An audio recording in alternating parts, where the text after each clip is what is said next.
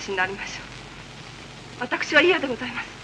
舞踏会を開くのは何かの足しになるとかならないとかそんな単純な理由からじゃないわ。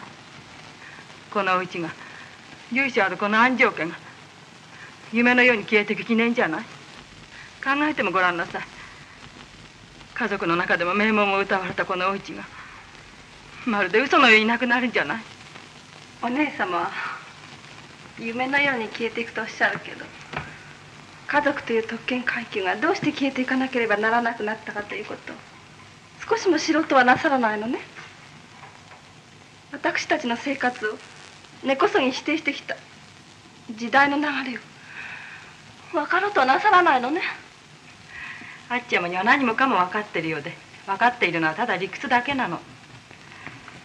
農地の改革法財産税それで全てを失った上に新憲法では家族というものは消えてしまったじゃありませんか。私たちには何にもあれしない。このうちだって今にも人手に渡ろうとしてるじゃない。すっかり裸になってしまった私たちがどうして時代の流れを感じないでいられるでしょう。だからこそせめても舞踏会を最後に私たちの美しい夢を残したいと思っているのじゃありませんか。お姉様はやはり家族という古い夢にまだ憧れてらっしゃるのね。私たちのこれからの生活家族の思い出なんか何の足しにもなりゃしないわ。そんなものこそ何より先に振り捨てなければいけないんだわ。私たちの不幸は何よりも家族というものに生まれてきたことじゃないかしら。およしやさば今日まであっちゃんも育ってきたのはこのお家よ。よせよもう。え？分かったよ。舞踏会を開こうと開く前と。大した違いないや23万もありゃいいんだろ。お兄様。23万円とお金今の私たちにとっては大変な大金だわ。うちにはもうお金なんかありゃしないの これからみんなで働くさ。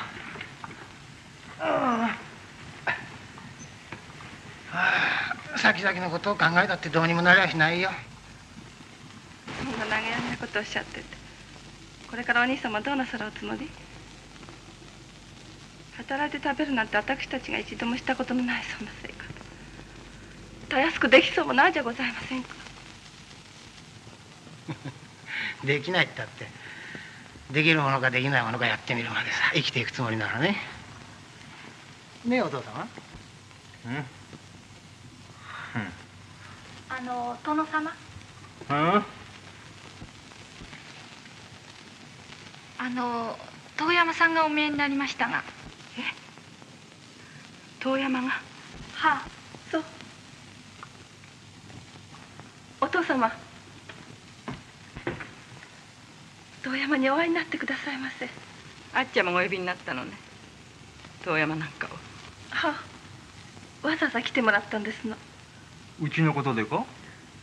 やはりあの人に買ってもらった方がよろしいと存じますけれど。反対だわ。昔の運転手不全にこのうちが渡せますか。何言ってんのよ。運転手だって何だって構いやしないよ。高く買ってくれるもんに言った方が得じゃないこのうちのことについては今日弟に新家のところへ行ってもらってるじゃないか。あれの返事を聞いてからにしたらいいだろでもねお父様。ん？新華さん当てになりゃしませんわよ。近頃のブースを見てもわかるじゃございませんか。おそらくダメに決まってますわ。ねえ遠山にお会い遊ばしてくださいませ。キク遠山さんお呼びしてちょうだい。あっちゃま何もかも心得のことをおっしゃってるけど新川さんとしては近く親戚関係になるのよ。陽子様とお兄様婚約の間なんじゃございませんか？どうぞごきげんよう。代わり何か？ありがとうございます。若様お変わりいらっしゃいませんね。いやすごい景気だそうじゃないね？そういやだいぶ闇太りしたよ。とんでもない闇なんかやっておりませんよ。どうだかねあきこ様お久しゅうございます。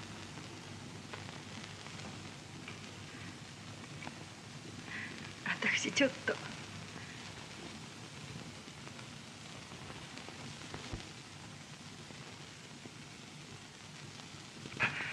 毎日お暑いですな。うん。もうかけなさい。ねえ遠山さん。あお父様にお話ししてみてちょうだいああ実はですな敦子様が昨日僕ん家へいや私ん家へお見えになりましてね。遠山君。あ？あのあ？タバコ一本遅れてないか。あ？部屋行きあんだよ。あ？うん。これやらんか。いやありますあります。あこれみんなもらっといていいの？どうぞ私あんまりやりませんから。あそう。敦子様に事情をすっかりお聞きしたもんですからそんなら一肌脱ごうって気になったんですよ。いや財産税じゃすっかり裸になった人が多いですな。あ昔を言えば私も5になった体ですし50万や60万の金なら捨て金したってほしくない。そんな気持ちで今日は伺ったようなわけです。せっかくだが遠山わしはまだこのうちを手放す気にはなっておらんのだよ。は？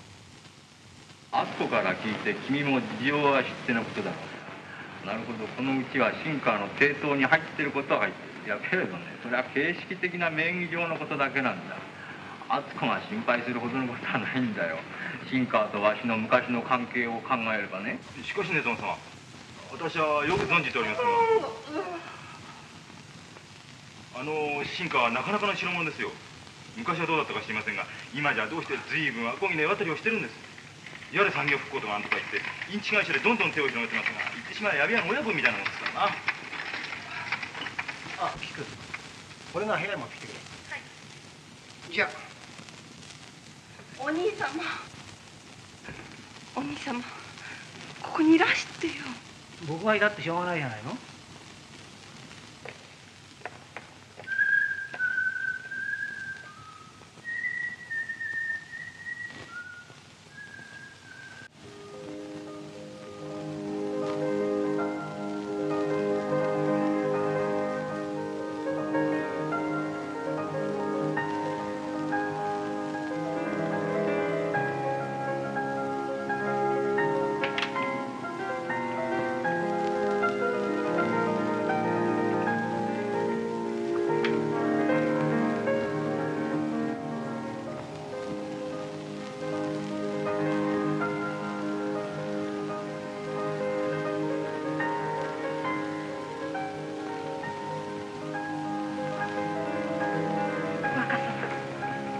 お紅茶を持ってまいりました。あのお紅茶を持ってまいりましたが分かってるよ。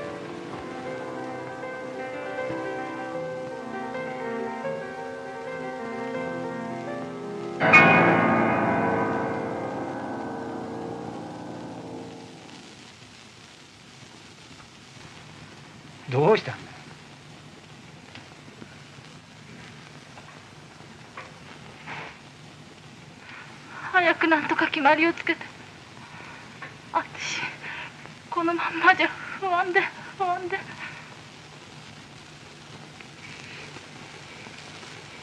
殿様つまりこう時勢がガラリとどんでん返しを打ったんですからな。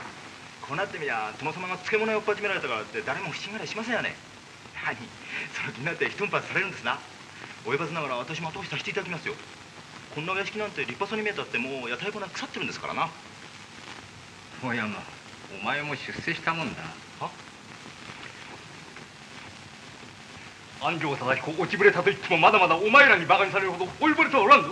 お父様遠山さんはそんなつもりでおっしゃったんじゃないわ。敦子このうちを遠山に売るのはやめてくれ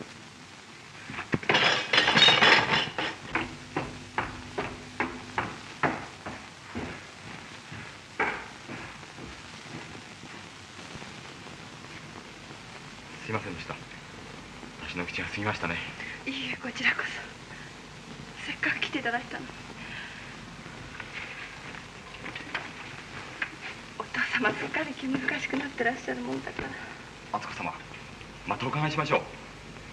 ええご苦労だけどそうしてどうせ遠山さんの力を借りしなくちゃならなくなるんだから。お願いするわ。は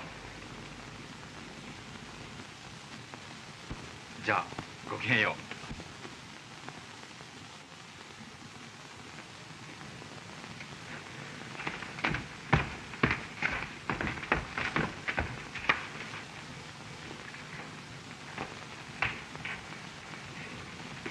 また。お邪魔しましではよろしくね。たはごきげんよう。ごきげんよう。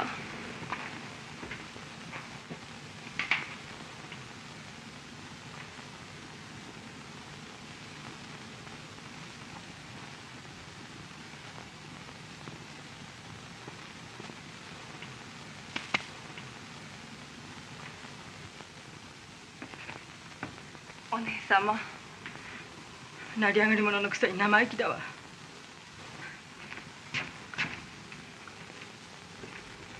何をそんなに怒ってらっしゃるの？あのことはもう昔の過ぎ去ったことじゃないの。私が結婚に失敗したもんだからあいつお腹の中で笑ってるのよいい気味だぐらいに思ってるんだわ。そんなこと。それお姉様のひがみよ。あの人もお姉様の不幸を喜ぶなんてそんなことないわ。だってそうじゃありませんか。遠山が家を飛び出したんだって私の結婚が原因じゃない。私がこの家へ帰ってきたらいつの間にかまた出入りするようになって。いまだに独身だって言うじゃない。気持ちの悪い。あいつがこの家を買うなんてのもどんな下心があってのことか分かるしそんなにおっしゃっては遠山に住まないわ。敦子がわざわざ来てもらったんですもの。およしやつばさあんな男相手にするのは。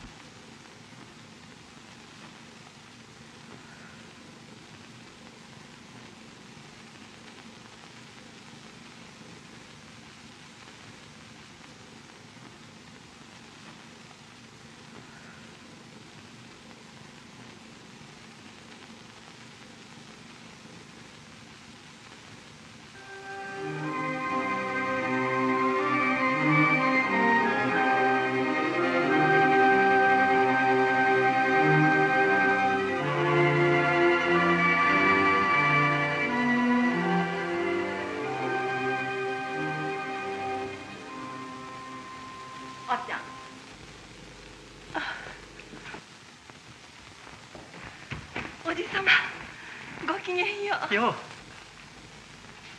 あっちゃんお水一杯ちょうだい。はい。いやーどうも毎日忙しくって忙しくって。い本当に大変でございます。やはい。ありがとう。兄貴は？お父様？いらっしゃいますけどうん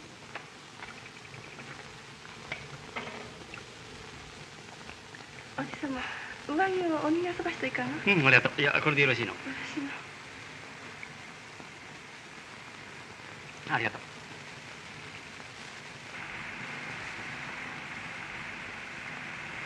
ねおじ様新川さんの方どうなりましたの？い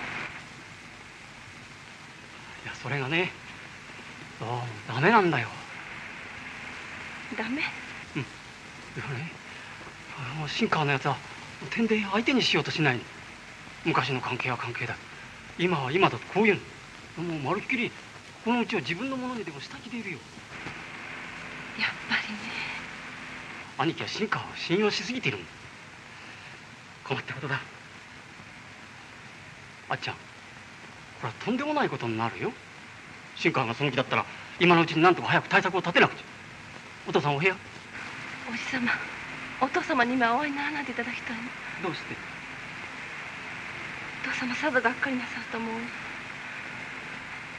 後で敦子がゆっくりお話しいたしますから。そんな悠長なことを言ってていいの？大丈夫かね？このうちを人手に渡すようなことになりますよ。よろしいのおじ様こんなうちなんかなくなった方がいいの。私たちこのまま冷たい世の中に放り出された方が幸せなのかもわからないわ。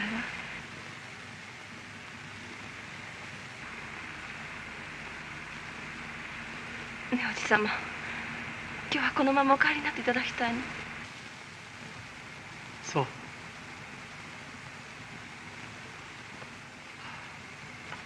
じゃあ帰るか。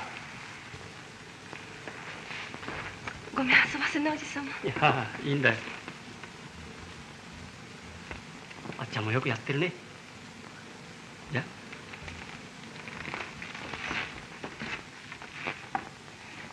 ごきげんよう。よ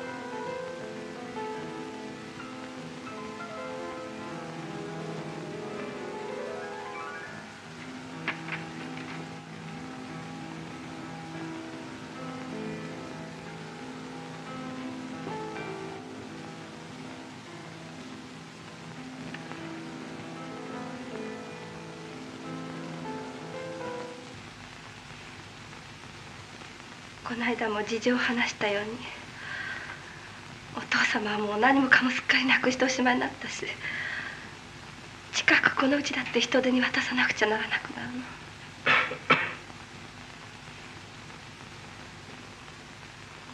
の。長い間みんなにはとってもよくしてもらったけどいよいよお別れしなくちゃならないわ。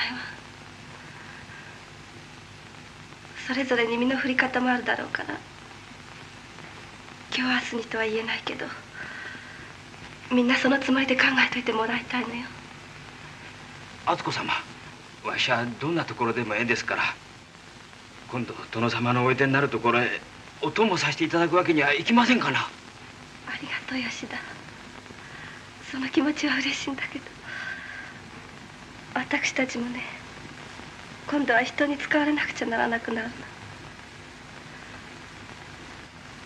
分かってくれるわねはあ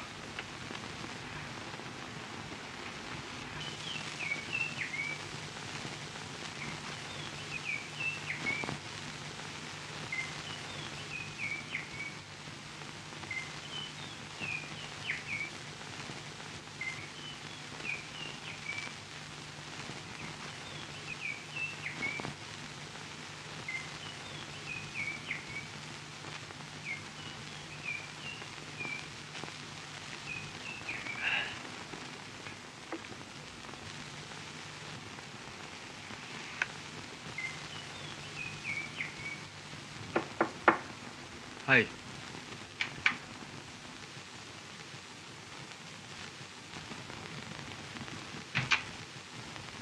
なんか用か？ううん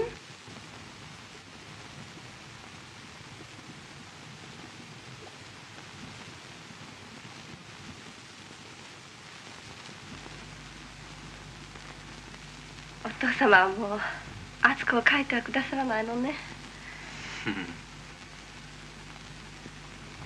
もうすぐ何もかも片付いてしまうわ。そして早く楽な気持ちになりましょうね。そしたらお父様には毎日絵を描いていただくようになるわ。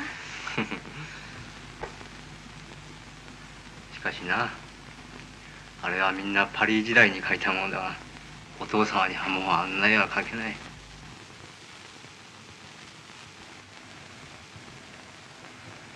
ダメねお父様かおっしゃってたじゃございませんか。60になってから本当のいい絵を描くんだって。うん。それからねお父様ん。さ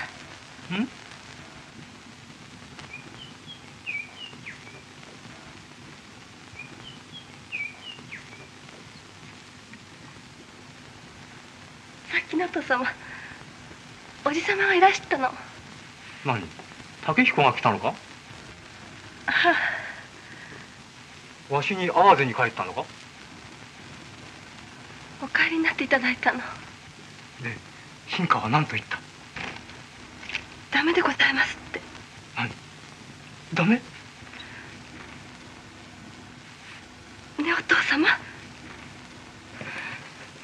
新川さんなんか頼りにするのよしましょう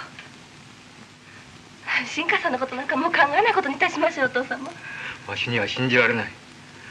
あんなにこのわしを信頼していた男が。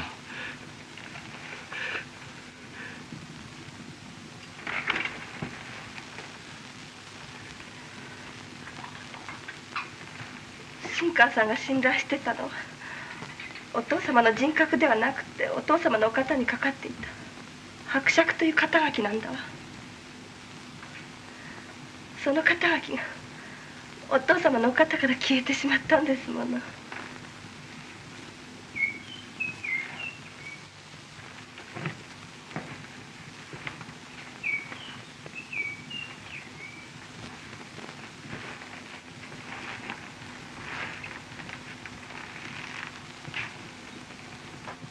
ごめんあそばせねお父様。こんなこと申し上げて。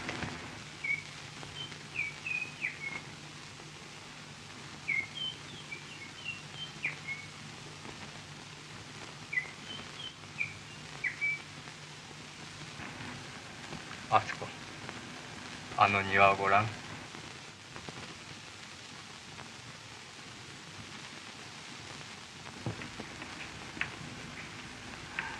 お父様が子供の頃からずっと見続けてきた庭だ。このうちや庭を売らなきゃならないくらいならこのわしも一緒に売ってもらいたいような気持ちがするんだよ。若いお前から見たら。お父様のくだらん感傷と笑うかもしれないけど。なあ敦子。いろんなことが理屈じゃ分かっててもな。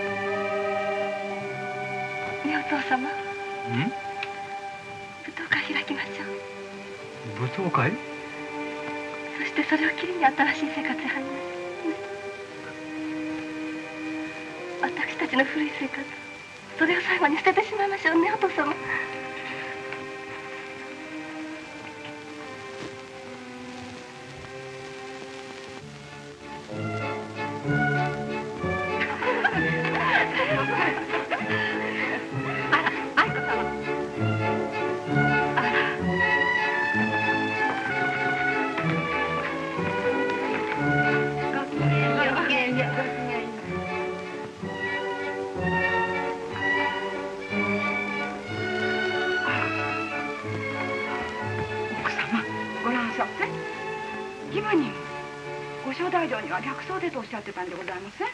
そんなことよろしいじゃございませんか。あっちゃまお父様お支度まだ？えもうすぐよ。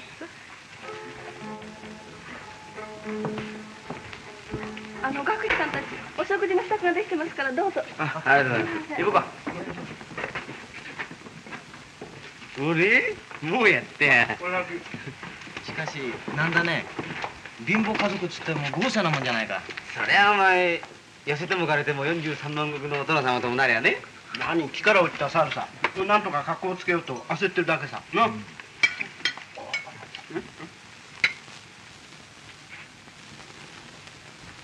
父様？あ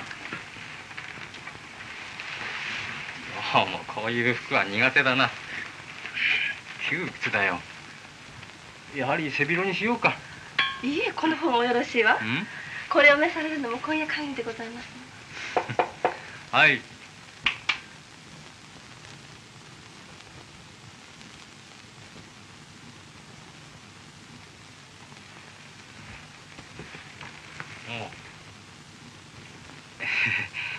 吉田もおめかしじゃないか。先代様から配慮したもんでございます。吉田には玄関で黒くしてもらっておりますのああそう。それはご苦労さん。いや殿様ただいま春恋様のご皇妃様が追い出せばしました。あお姉様が。日露戦争の済んだ明くる年でしたからやはりこの広間で舞踏会が開かれましてねあの時おば様は確か19今の西小松宮様もお見え遊ばしてね私もお相手をさせていただきましたこの広間いっぱいに長屋の面がきら星のようにお並びになってね。ちょうど桂さんに代わって西園寺さんが内閣をお取りになったばかりの時でございました。西園寺さんをはじめその方々は無論のこと伊藤博文さんもお見えになってねとてもお上手にワルツを踊られたものだけれどあの時のお父様の嬉しそうなご様子が忘れられない。まるで昨日のように思われます。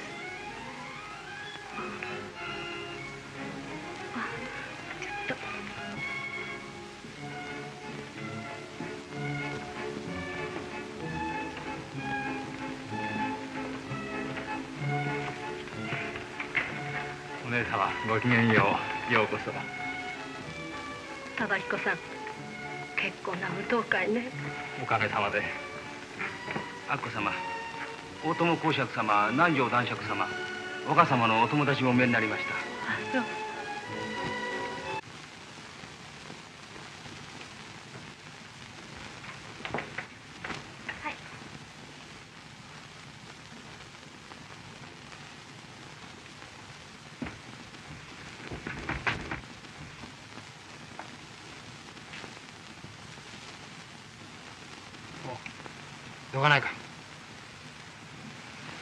忙しいんだろ？下行ってなきゃ怪しまれるぞ。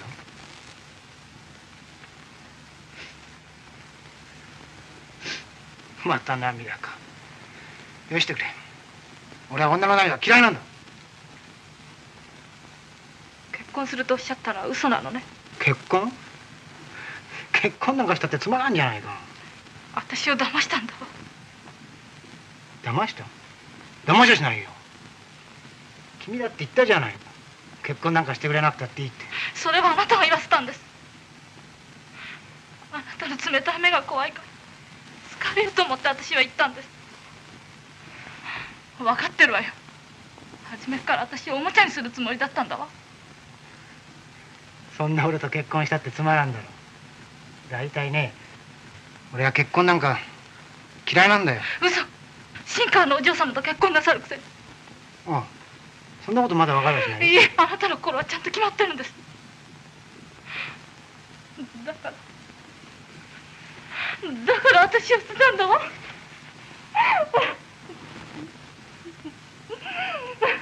ああおいどけどけ、うん、捨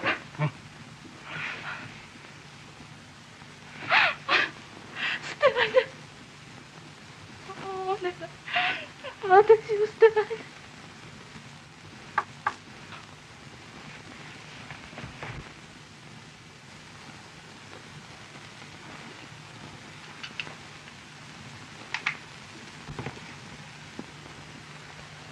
お兄様。新川さんがいらした？あそう。キクまだここにいたの？早くしたいね。はい。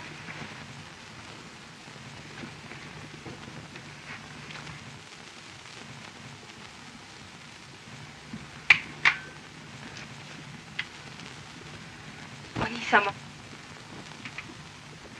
陽子様と結婚なさるおつもり？うん私ね真面目な味をから結婚なさるんだったら賛成だけど新川さんと親戚関係になるための結婚だったら反対だわ。お兄様のためにね。分かってるよ。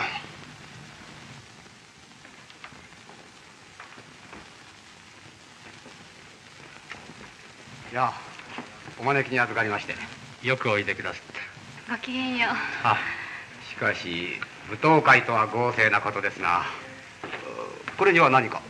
いや何もありゃしないんだが強いて意味づければ没落家族の最後に多少の制裁を添えるものかもしれん。これはご冗談を。おからかいになっちゃいけませんよ。新川さん。は？先日弟が私の代理でお伺いしたはずだが。あお会いしましたご返事申し上げたはずですが。返事はいただいたが実は。まあ陽子様。ごきげんよう。ごきげんよう。さあどうぞ。どうぞ。草間。あれ新川でございましょう。ちょっと闇屋さんみたいね。あの連れ。どなたなんだでしょう誰だかしらほれ評判の新川この間の選挙には随分お金を使っため落選なさったそうでございますわ。そうでございますってね。お姉様こちら新川さん。私の姉です。お。新川です。どうぞよろしく。娘の陽子です。春恋でございます。どうぞ。飲みなさいませいやなかなか結構なパーティーですな。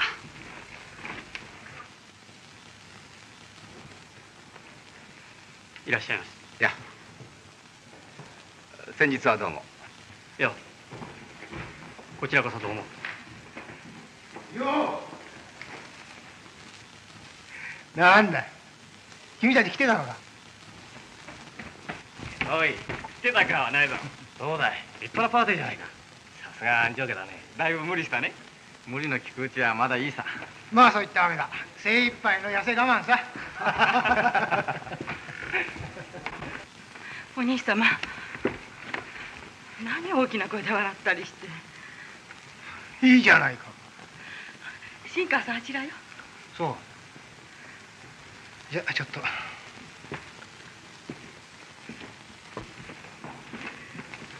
ごきげんようああどう？も私はダンスは苦手なんですが陽子にせがまれましてね。はあ？しばらく。いやごきげんよう。あの皆様？皆様何もございませんが食堂の方へどうぞ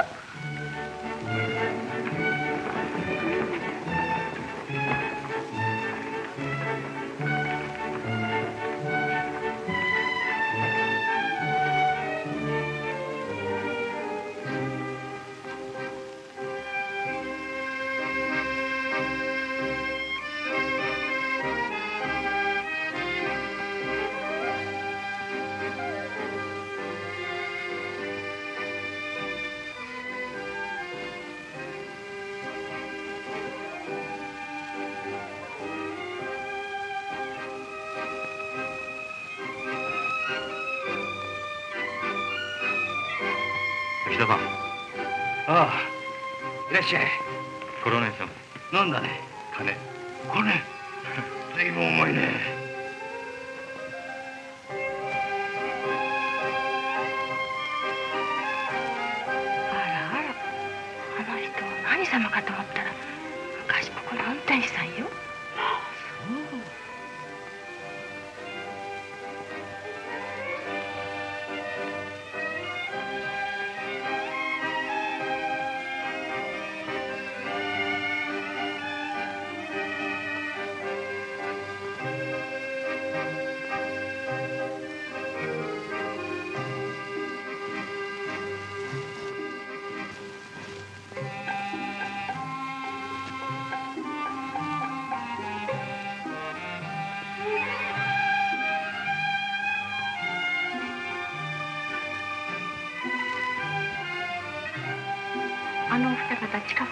るんでございますわこのところ安城さんも一生懸命なんじゃなすって。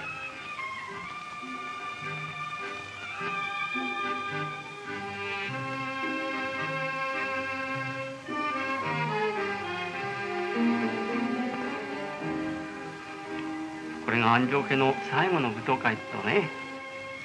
ああおそらくね。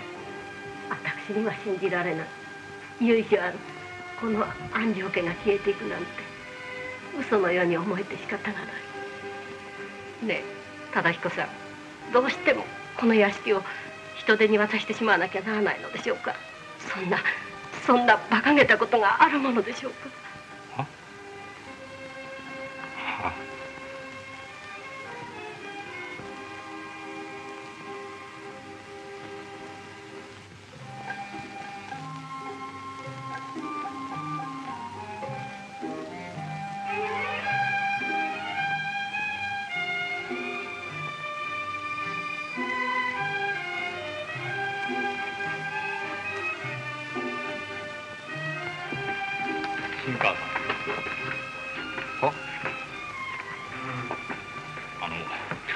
話ししたいことがあるんだ。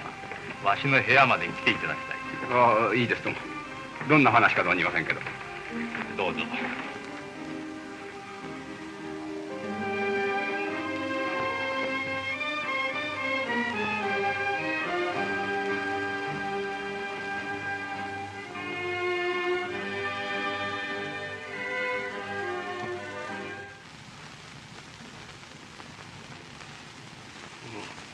相変わらず絵をおやりですな。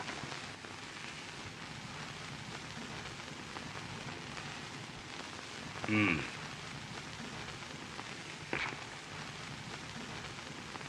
はは。結構なご身分ですないや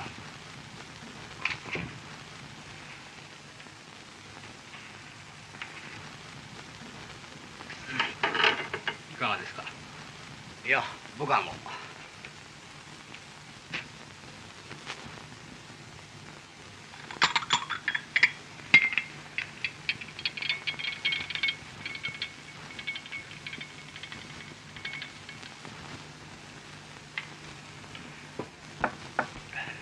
はい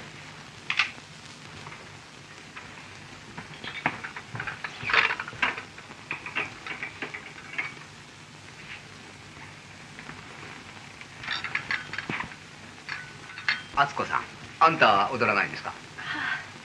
私はダメなんでございますな。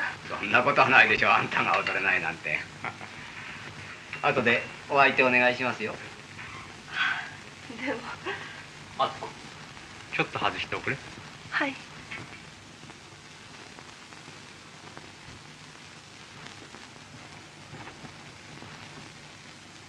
お父様ちょっと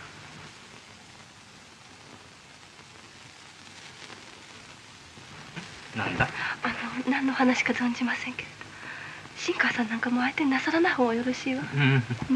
せっかくの舞踏会に不愉快な思いをするなんてつまりませんもん、ね分かってる分かってる。お父様。このうちはやっぱり遠山さんに買ってもらいましょうね。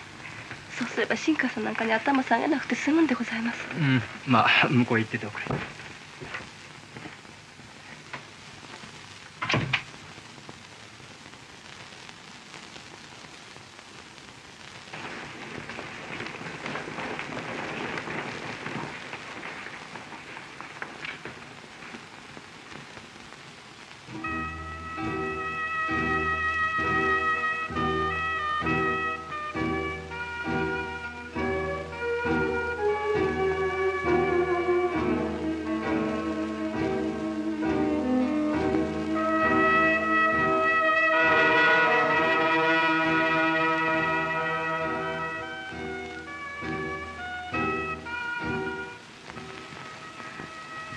なさるの？話して。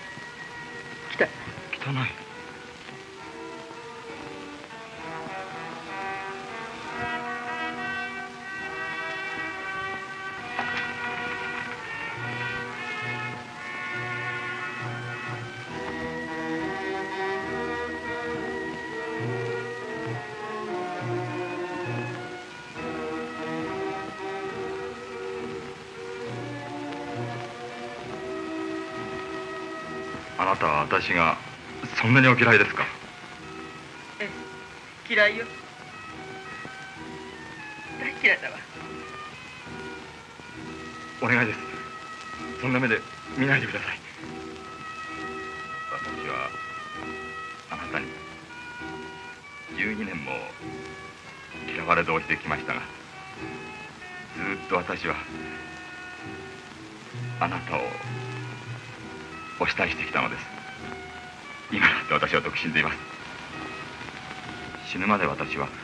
のことだけは言うまいと思っていましたが今夜は言ってしまいます。愛子様結婚してくださいませんか？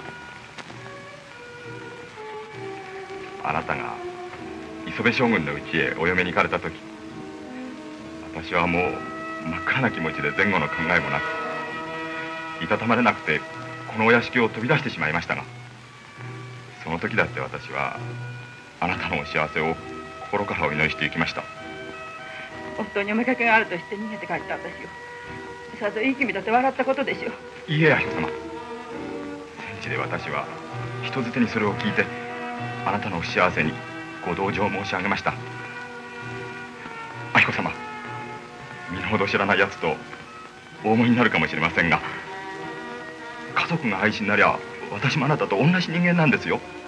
もう差別はないじゃありませんか。家族は亡くなったわだけどやはり明子の心は貴族愛子様その心をお捨てになってください。お願いします。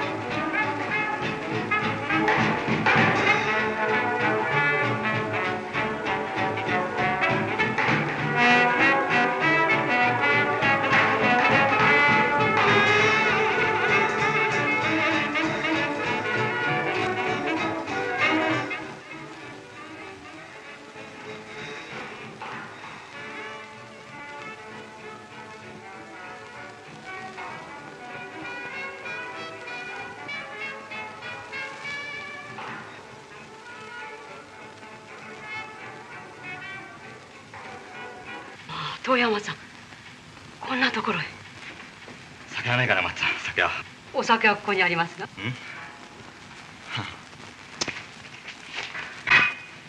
畜生舞踏会もクソもあるものか。どうしたんですね遠山さん。この仲間はやっぱしお前さんたちだ。お上品な人たちの仲間入りはできねえらしいぜ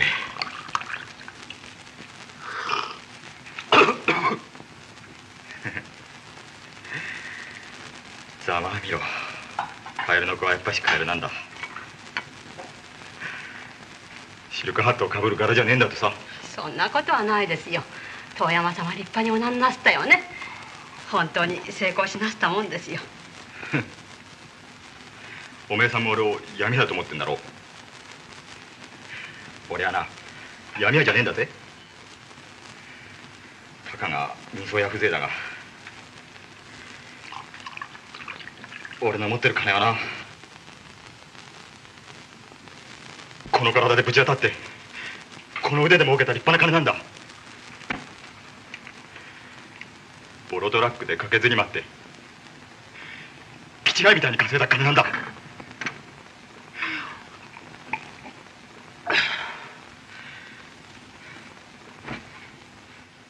畜生金が一体なんで。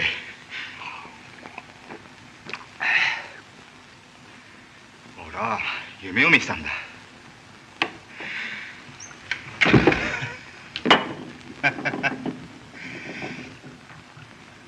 な夢を見せたバカ者なんだ。あ敦子様。まあこんなところにいたのね。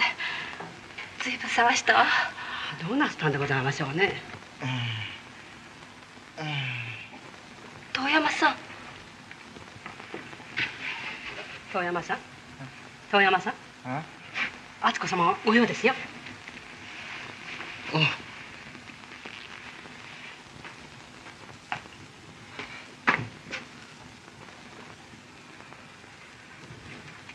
ね遠山さん。このうちはやはりあなたに買っていただきたいの。ねお願いするわ。お願いするわ遠山さん。敦子様。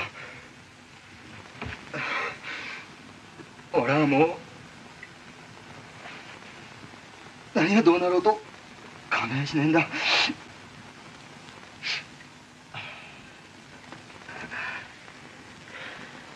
え遠山さんお父様助けてあげてねえお願い私は君の同情にすがってこの家や師匠を残したいのだ、ねえ、新川君昔の関係を考えてくれて今までの借りは水に流してもらえないか。ねえ君頼むよ。昔の関係とおっしゃるけれどそれはとっくの昔帳消しになってはいないでしょうか。確かに私はあなたの名をお借りしました。伯爵という肩書きを利用してあなたを軍事工場の看板所長に祭り上げました。だがね安城さんあの時はあなたにもそれ相当のことはしたつもりですよ。しかし君。まあまあいいでしょうよ昔のことは。時代も新しく転換したことですから。過去の一切の関係は忘れるじゃありませんか。この間もあなたの弟さんが見えた時に申し上げたいと思うんですがあなたと私の関係はこの際すっぱり打ち切っていただきますよ。打ち切るというと？つまり用立てたお金の方に今夜限りこのうちはいただくってことですよ。え？いや。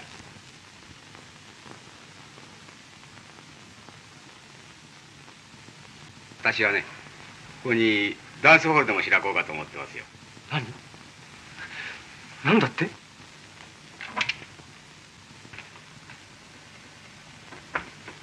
それからもう一つ陽子と正彦さんとの婚約の件も解消していただきますよ。私が今日伺ったのもこの二つのことをはっきりと申し上げたかったからです。新川君じゃあ君は家族というものへの利用ばかりで今日までこのわしに付き合ってきたのか？そうです。君は君はひどい男だな新川君助けてくれたまえ。生まれてこの方ただの一度も頭を下げたことがないこのわしがこうして君や恥を忍んで頼んでるんじゃないか。蔑んでくれてもいい。笑ってくれてもいい。君子供のためなんだ。君頼むよ。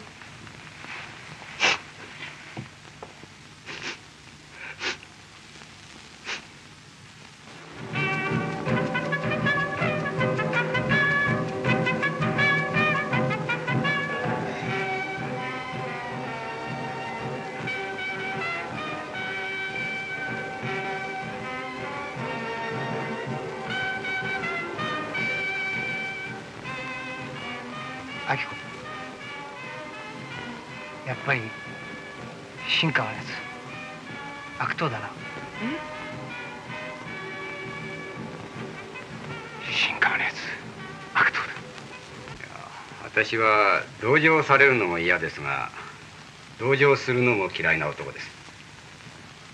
あなたはこの際潔く裸になるべきですな。何よりもそれがあなたを幸せにするでしょう。さあそこをどいてくれませんか。おどきなさい。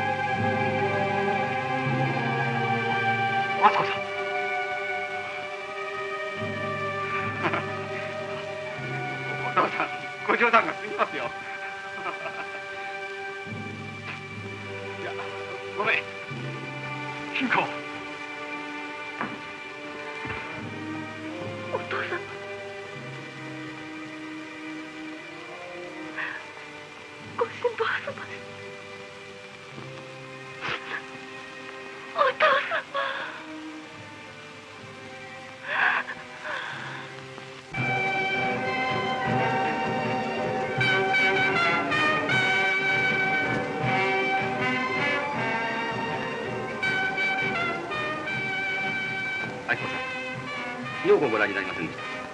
先ほどベランダの方にいらっしゃいましたけど。そうどうも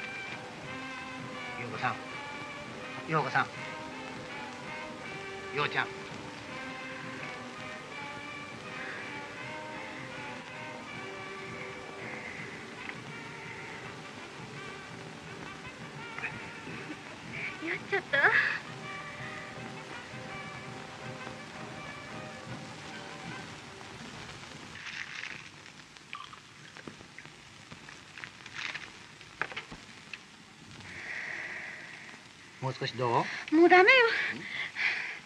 まだいいでしょ。ダメ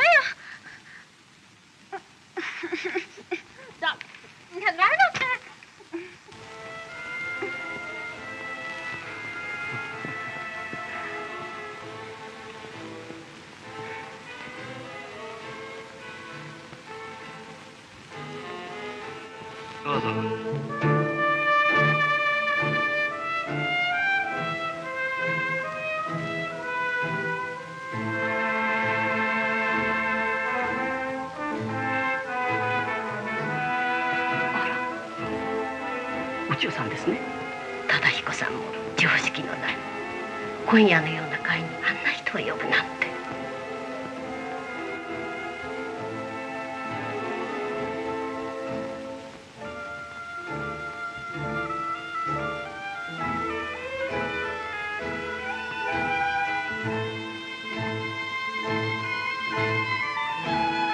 奥様安城さんのおめかけさんよ。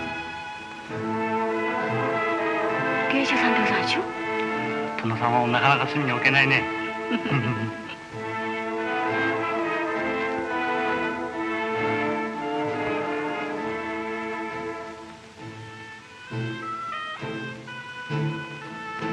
お姉様。お兄様はお見かけなさらなかった。お二人にご相談したいことがちょっと。どうぞご勝手に。このうちのことはあーちゃまご一人でなさってらっしゃるんだから。そんなこと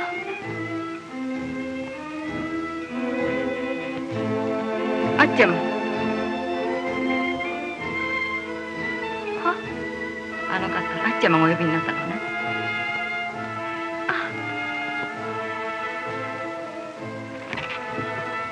ごきげんよう。あ敦子様お待ちしておりました。わ迷ってたんですけど。せっかく敦子様に呼んでいただいたんだからと思いましてね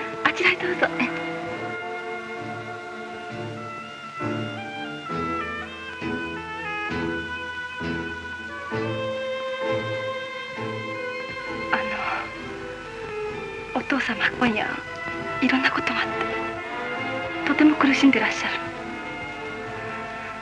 お慰めして差し上げてくださいましね。はあ。あちらからどうぞ。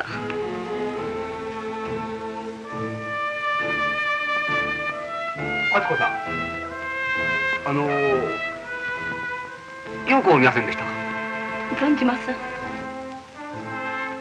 あそう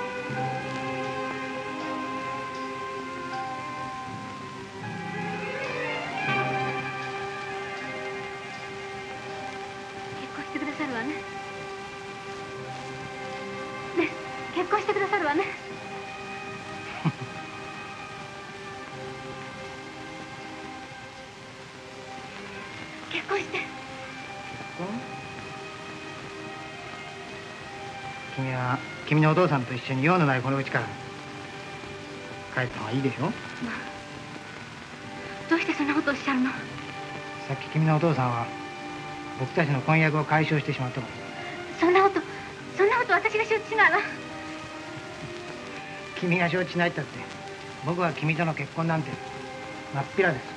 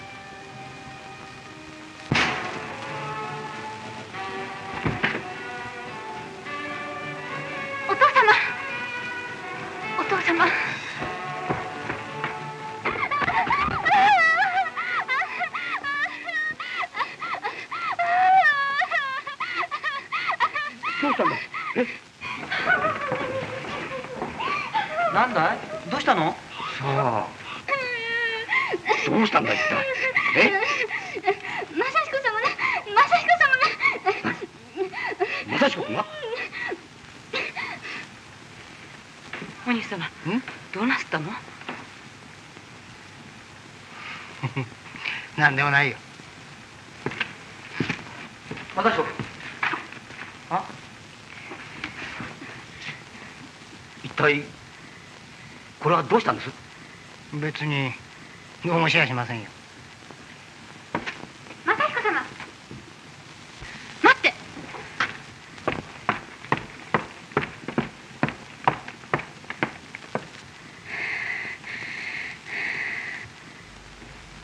なんか用なの？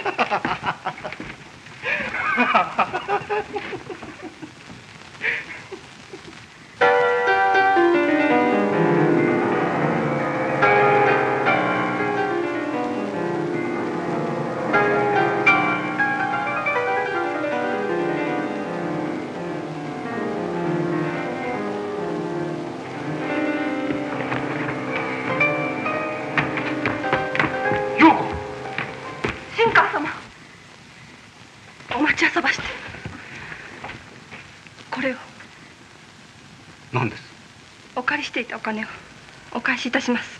一体どうしたんです？このお金をお持ち帰りくださいまし。出し抜けに変ですね。遠山さん。あそんなとこ出てってはいけませんよ。えー、ダメですよ遠山さん。失礼になりますよさあっち行きましょう。さ話せとったら遠山さんこら切ったいいんだよおう新川帰れその金持ってとっとと帰れななんだ一体君は。何を？遠山さん無礼だ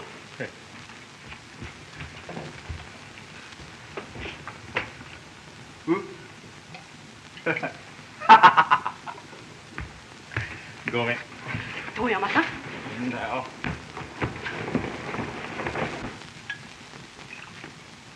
いや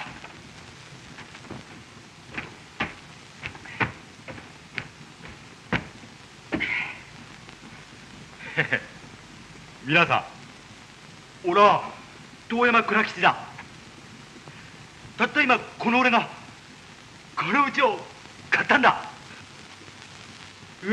運転手税がこの家を買ったんだ。お上品な皆さん。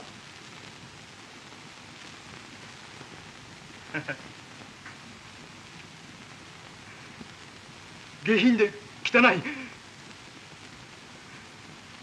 このわしがこの家を買ったんだぞ。あなた方のお仲間に入れてもらえない。運転手税がこの家を買ったんだ。あのシャンデリアもこのコップもみんな俺のものになったんだ。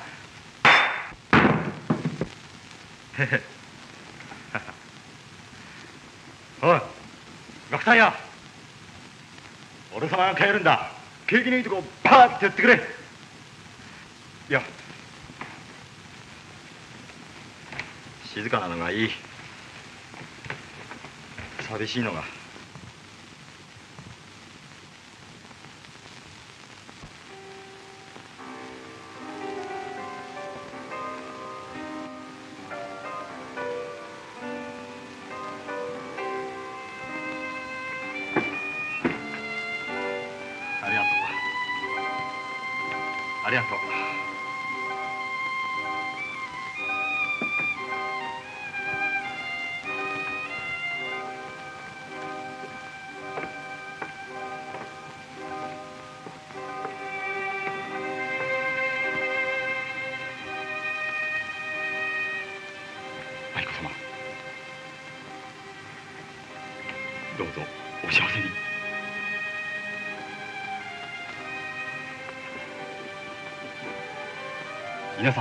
お騒がせしました。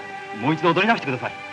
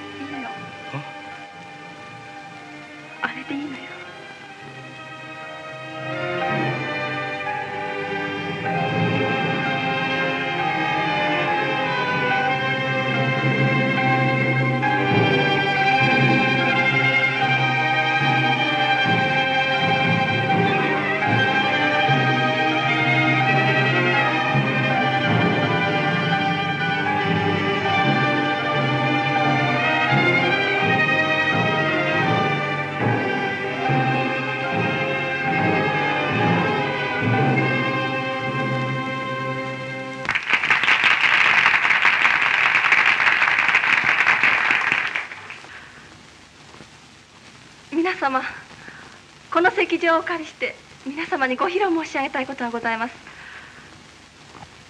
父は今夜結婚いたしました。石川千代様とでございます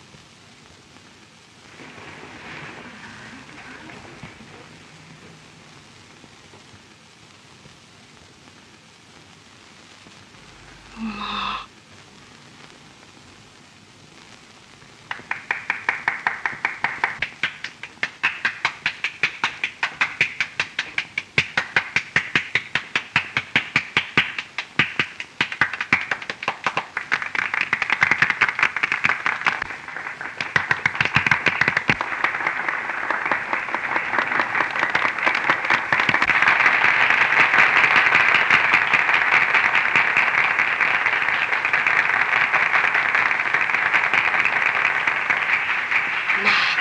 なんてこと竹彦さん帰りましょう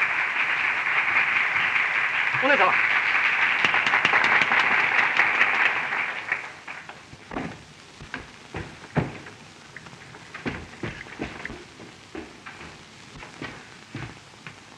お父様おめでとうございます。ありがとう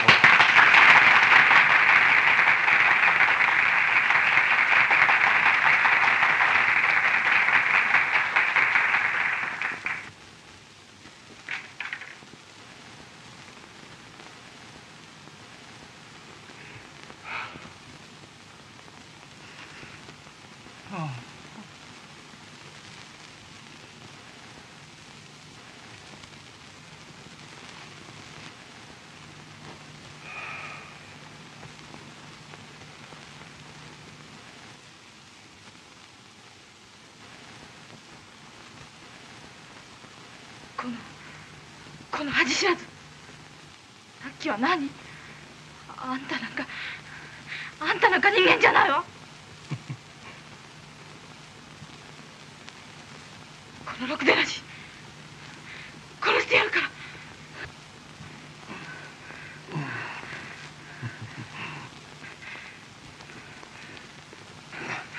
よせよ、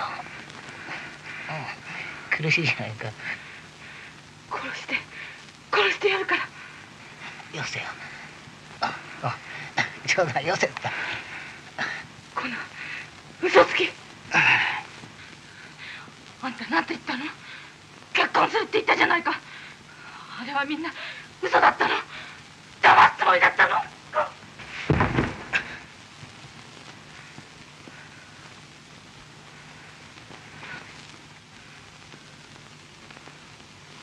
殺しても殺しても飽き足りないんだけどだけど私やっぱり私あんたが好きなんだ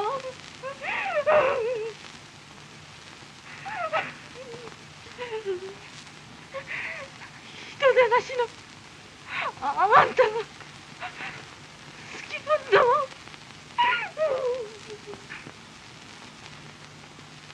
でなし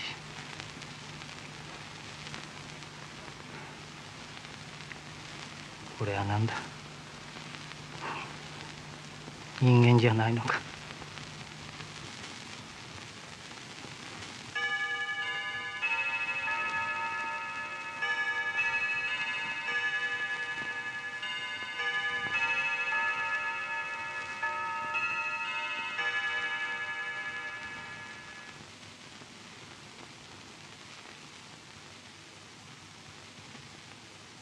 君と二人でいつかこのうちでこうして話ができればと思ってたけど。とうと思いが叶った。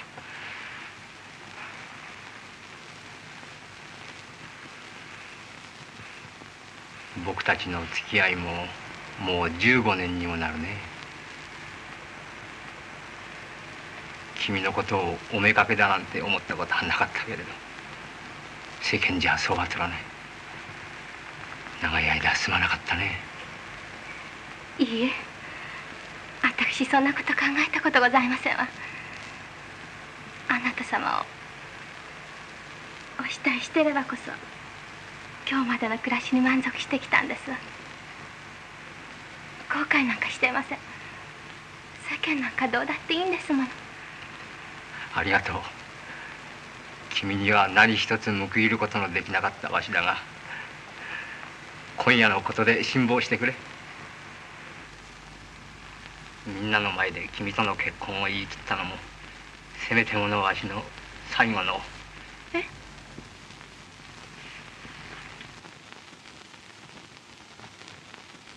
最後だなんて。いや君に果たさねばならない最後の務めという意味なんだよ。長い間心に陰っていた曇りを今夜できれいに払うことができたよ。あのこんなこと申し上げてお気に障りましたらごめんなさい。もしこの家をお出になって他の家をおいでになるんでしたら千代の家をおいでになっていただけないでしょうか。ありがとう。そうしてもらうかもしれない。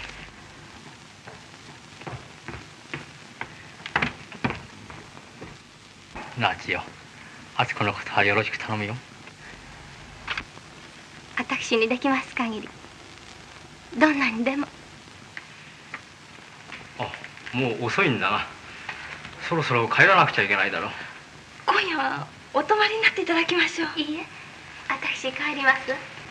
それじゃこれ召し上がってから。あお父さんは少し疲れた。いや失敬しようそれ 敦子は。おやすみなさい。ごきげんよう。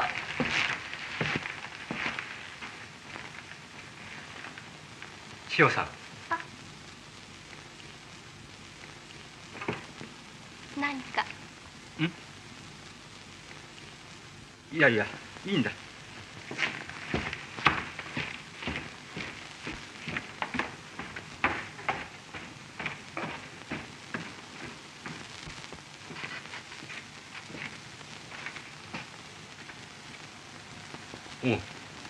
お吉田か。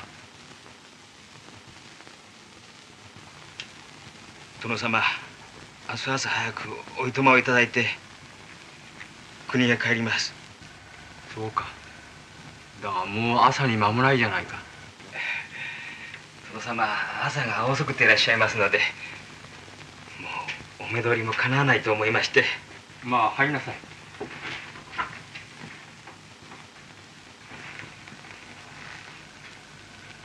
まあ吉田も達者でな。はい。恐れながら殿様にも。長い間世話になったな。小さい時からわがままばかり言って。本当によく世話してくれた。田舎へ帰ったら幸せに暮らしてくれよな。殿様。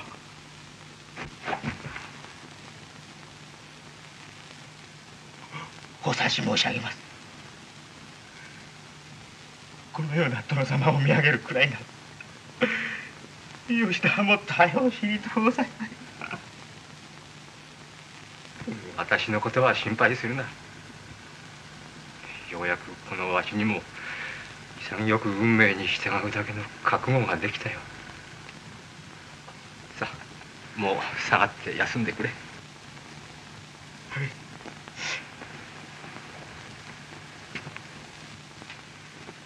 では殿様もくれぐれもお体にお気をつけ遊ばして。あありがとうあちょっと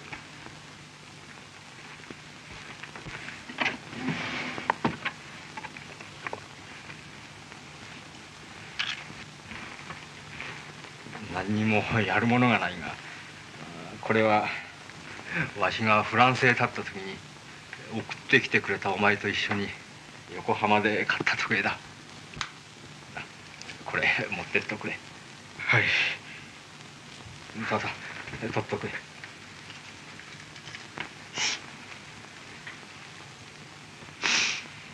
なあ吉田。わしがパリへ絵の勉強に立った時のように明るい希望をつないで別れよな。古いものが滅びて新しいものが生まれるためにこうしてわしらは滅びていくんだ。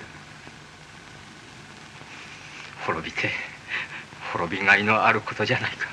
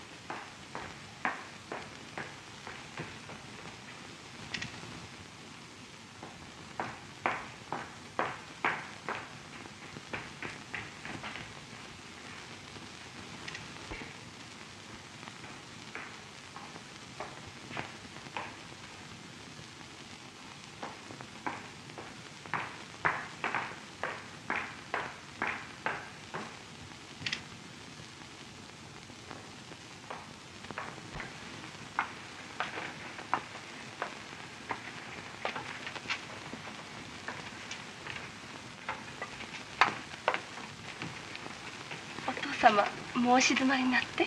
はい。まだお目覚めのようでございます。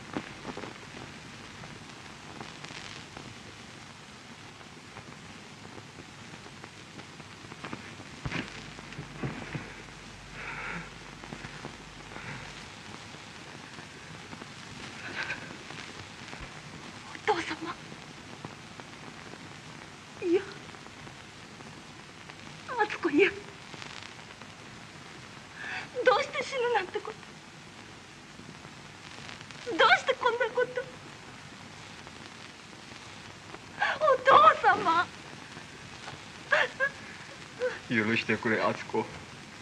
お父様の生涯はもう今夜で終わったんだ。いいえ。いいえ。これからお父様新しいご生涯が始まるんだ。わこれから本当の生活が始まるんだ。わ敦子お父様はやっぱり古い人間なんだよ。弱いんだよお父様にはもう生きていく元気がすっかりなくなったんだよ。敦子はついてるわ。千代さんだっていらっしゃるじゃございませんか。お父様お元気を出し遊ばして。これからみんなで新しい出発をしようじゃございませんか。ねお父さん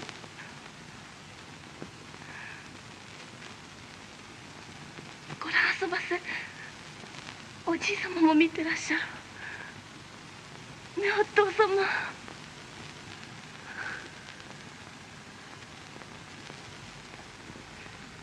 おじい様は私たちに笑ってらっしゃるようじゃございませんか